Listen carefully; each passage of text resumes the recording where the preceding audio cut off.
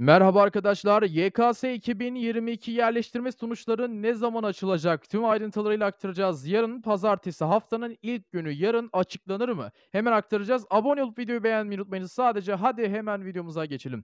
Yarın 8 Ağustos pazartesi günü.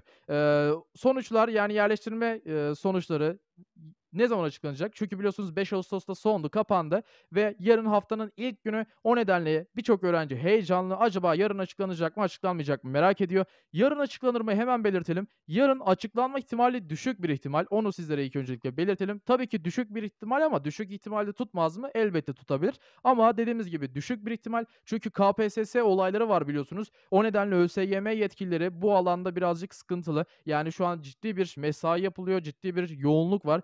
KPSS'den de dolayı. Eee, şu anda yani ciddi sıkıntılar olduğundan dolayı muhtemelen yarın yani pazartesi açıklanmayacaktır diye tahmin ediyoruz. Eee, Cuma günü ayın 12'sinde Ağustos'un 12'sinde Cuma günü açıklanır veya Cuma günü açıklanmazsa da 15 Ağustos pazartesi günü muhtemelen artık açıklanmış olacaktır.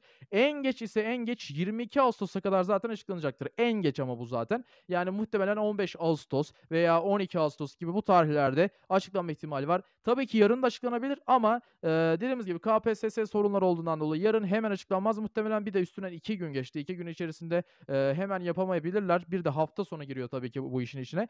O nedenle gibi sizlere aktaracağımız bu kadar. Abone olursanız gelişmelerden haberdar olabilirsiniz ve sorularınız varsa yine alabiliriz. Aşağıdan abone olup videoyu da beğenmeyi unutmayınız. Kendinize çok iyi bakın. Sağlıcakla kalın. Görüşmek üzere.